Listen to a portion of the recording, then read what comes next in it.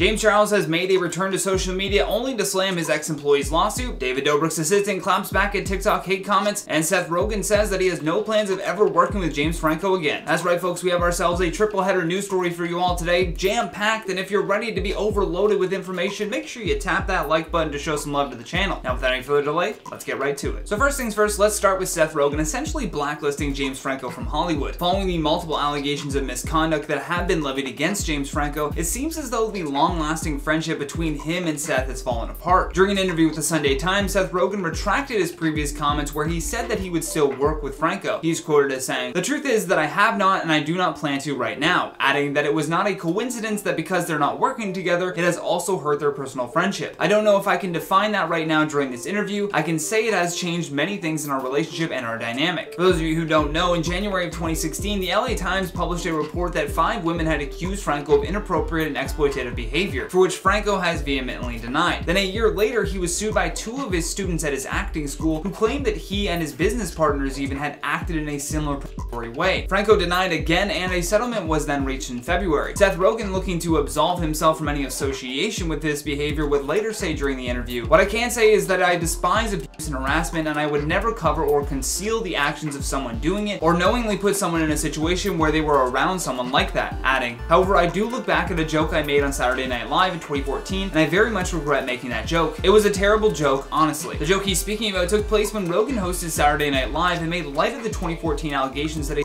year old had made against James Franco. She said that James Franco, who was 35 at the time, had sent her direct messages to meet up with him at a hotel. As Seth spoke about that on the SNL stage, Franco then walked out and said, Great prank, I've been waiting at the Ace Hotel for three days, which is just a really bizarre way to try and cover up some very serious allegations. For now though, it seems like James may have a difficult time working in Hollywood with one of his closest friends being the first to publicly cut ties with him. In other news, David Dobrik's assistant Natalie has been feuding with people on TikTok over her association with the problematic YouTuber. Over the last few months, David Dobrik has been met with a wave of backlash after a ton of allegations came to light. These range from inappropriate behavior from members of his vlog squad to putting his best friend's life at risk for a video. In turn, multiple companies dropped him and YouTube even demonetized his channels. For Natalie though, she has been under a lot of scrutiny because of how incredibly close she is with David. She's not only a lifelong friend and his assistant, but she's also dating fellow Vlog Squad member Toddy Hall. Despite her posting content that has absolutely nothing to do with David though, she's still getting hate comments regarding his actions. On a video of Natalie showing off her outfits from a wardrobe, several comments attacked her for David Dobrik's actions. One comment said, Funny how you get to play dress up as Jeff lays in pain from an accident you probably helped prove. And instead of just letting the comments keep rolling and trolling her, she decided to clap back. Natalie commented, Yo, some of y'all need to chill. Dave's still my best friend. Sorry you missed that in the 10 second TikTok I made in my friggin' closet this morning. The question after a public figure gets held accountable for their actions is always how long do you think it will be before they try to come back? Well, with David's assistant still getting hate comments on her TikToks, I don't think people are going to let this go anytime soon. And speaking of canceled celebrities returning to social media, let's talk about James Charles breaking his silence to rip into one of his ex-employees. The only other YouTuber that people are more mad at right now really than David Dobrik has to be James Charles, and boy oh boy has he fallen hard since taking responsibility for the multiple allegations of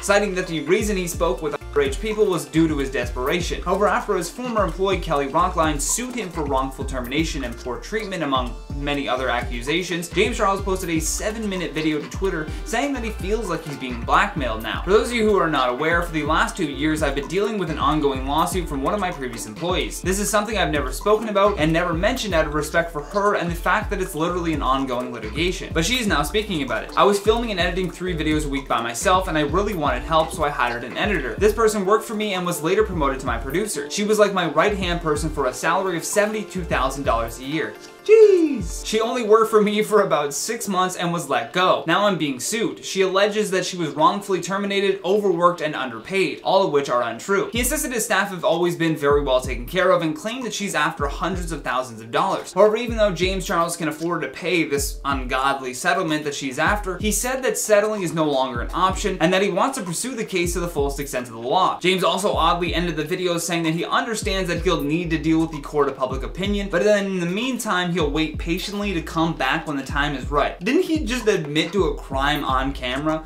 Who said take some time off and come back later? Either way, we want to know what you guys think about these news stories that we've gone through today. Don't forget to drop us a comment down below with your thoughts. And while you do that, I'm to check out some of your comments from the video title, Instagram influencer becomes queen of Italy after this. Becca F says, as an English woman, I see our royal family as nothing but a tourist attraction. Our laws and decisions are mostly made by parliament and the prime minister as they should be. Anna says, as an Italian, we don't have a queen or a king anymore. It was abolished. The family still exists, but they aren't royals.